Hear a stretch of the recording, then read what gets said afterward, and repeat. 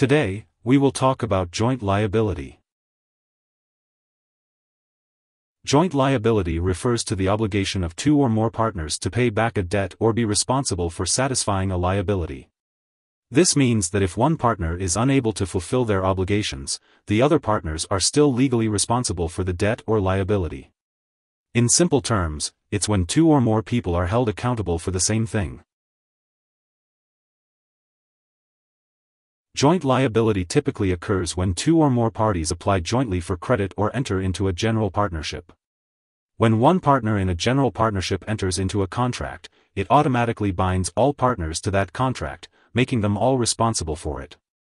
This means all partners need to be aware that they are liable for the actions of every other partner within the partnership. For example, when spouses both sign for a loan, they both become liable for the balance of the loan as co-signers, even if one spouse should die.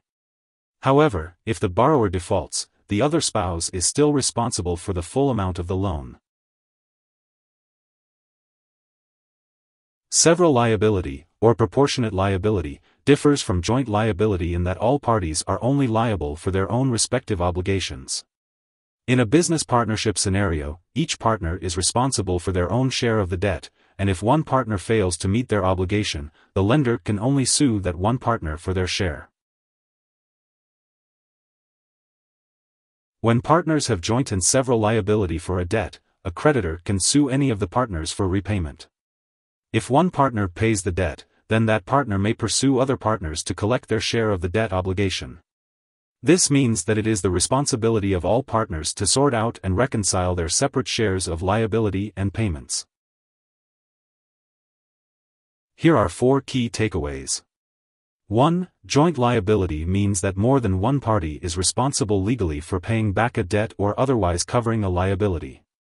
2. Joint liability results from two or more parties applying together for credit, often in a general partnership. 3. If any of the parties in the general partnership enter into a contract, then all of the parties are responsible.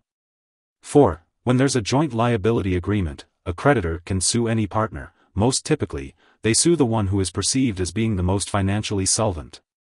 Hope this would help, thanks for watching.